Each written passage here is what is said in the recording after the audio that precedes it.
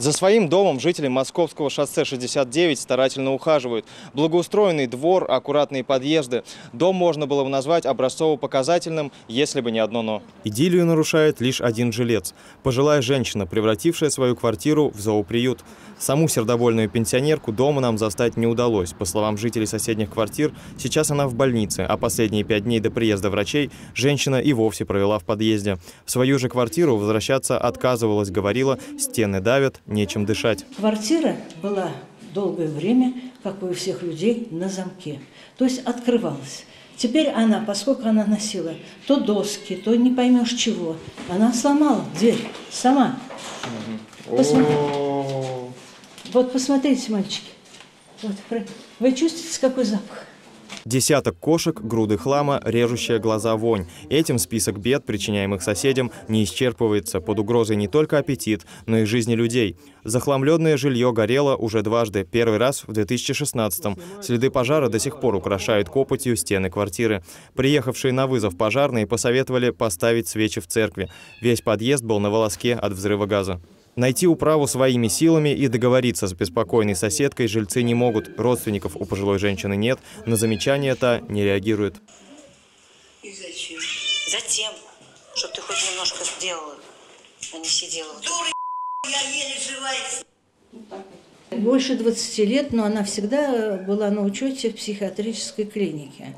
А с народом она не дружила, не общалась. Так.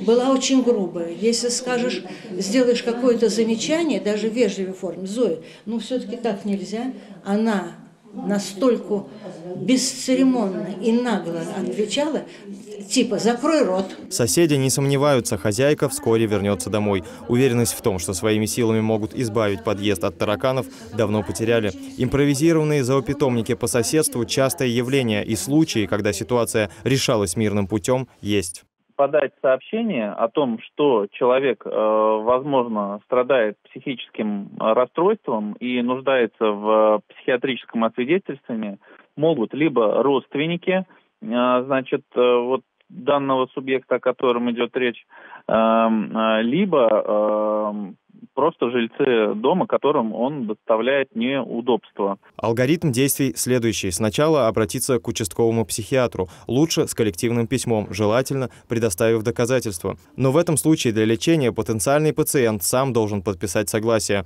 Если он от добровольного освидетельствования откажется, дальше дорогу ведет в суд через полицию. Полиция должна прийти проверить, как, э, значит, э, вообще что там происходит.